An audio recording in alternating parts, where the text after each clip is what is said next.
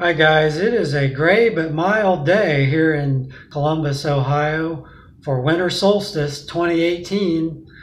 Today I wanted to talk about a recent segment on NPR's On Point where they covered the passage of the 2018 Farm Bill.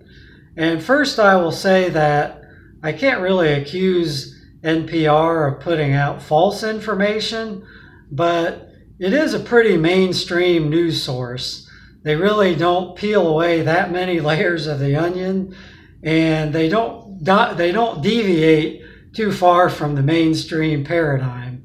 And a big reason for that may be the fact that a good chunk of their revenue comes from corporate sponsorships, and this would include names like Amazon and Bonefish Grill and Ben and Jerry's, CarMax, Subaru, Wells Fargo. You get the idea. So in this segment, they talked about some of the changes to the uh, farm bill that I guess it covers the next five years. And one thing that came up was the treatment of dairy farmers. And they did state that dairy farmers are going to get a little bit more support in the future. But they never questioned whether or not dairy farming is environmentally sustainable, nor did they question what the health outcomes from people consuming dairy might be.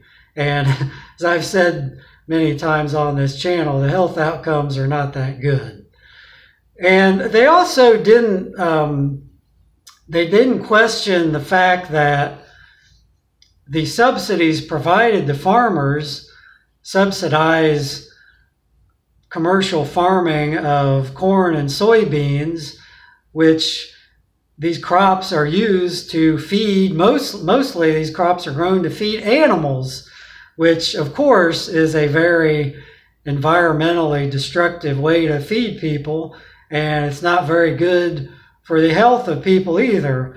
But none of this was ever brought up and i just think it's another example of them not peeling away again, not peeling away enough layers of the onion. So that's my take on NPR. I, am not saying it's a completely useless program, but I think it's good to mix in a few more, uh, some programming that deviates a little bit more from the mainstream. That might include things like Counterpunch or Truthdig or Truthout. Or another really good one is uh, Abby Martin. She's done some excellent work. I especially enjoyed her uh, segment, um, Empire Files. Anyway, hopefully this gives you some food for thought.